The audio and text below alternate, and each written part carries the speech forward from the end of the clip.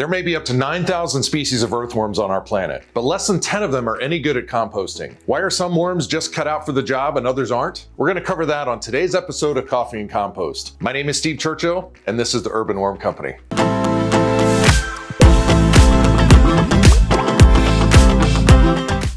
Makes composting worms so special? A worm is a worm, right? Well, not all worms are the same. They can be grouped into three major categories, anecic, endogeic, and epigeic. Worms like night crawlers inhabit the deepest layers of our soil. This is the anecic category of earthworms. Anecic is Greek for out of the earth. Even though these worms burrow vertically in the soil, sometimes as deep as six to nine feet, they come to the surface to consume organic matter, sometimes literally dragging it down into their deep burrows. Most of the world's earthworms are anecic. They tend to be large, muscular, and dark colored. Other worms burrow horizontally within the topsoil. These worms are endogeic, which is Greek for in the soil. These worms are a little less muscular than anecic worms and have a lighter coloring. Then there are the composters, which are known as epigeic, which is Greek for on the earth. These worms live above the soil surface in the litter layer or the organic horizon of the soil. By nature, they live in and process organic debris like leaves and dead plant matter. As grasses, leaves, and other plant tissue dies and falls to the earth, they create a layer of duff that breaks breaks down into humus and soil. In the forest, most of the forest floor is one giant composting system. New vegetation is added throughout the seasons, which starts decomposing, slowly turning into humus and incorporating itself into soils. Epigeic worms are there to work alongside microbes and other organisms to break down all of this organic matter. In a worm bin, we're simply taking advantage of what worms do in nature and mimicking what happens on the forest floor or any other natural environment where there's a layer of decaying organic matter on the surface. Remember, the Greek root words for epigeic are on the earth. So these worms live above the soil, but just underneath that layer of duff. When you understand this, you also understand that epigeic worms would be no good to throw in your garden unless your soil is the loosest organic matter rich soil out there. In that case, it's likely got worms in it anyway. Epigeic worms will not help aerate your soil and will become expensive bird food. These worms are darker colored like anecic worms, but not muscular enough to burrow into our topsoil. The most common epigeic worm is the red wiggler, known by its Latin name, Eisenia foetida. Other epigeic worms are African nightcrawlers, Indian blues, and European nightcrawlers. Don't let the name nightcrawler fool you though. These worms are not soil dwellers like anecic worms. They live in that loose layer of organic matter and do a heck of a job turning it into humus. We sell epigeic worms only here at the Urban Worm Company and sell red wigglers both in a mix combined with a certain amount of Indian blues mixed in. They do a great job of processing organic waste. For those of you looking for pure stock, we also sell a slightly more expensive pure red wiggler stock. And there are links to these products below. I hope this was helpful. If so, please hit that like button, subscribe to this channel, hit that little bell to be alerted anytime we release something new,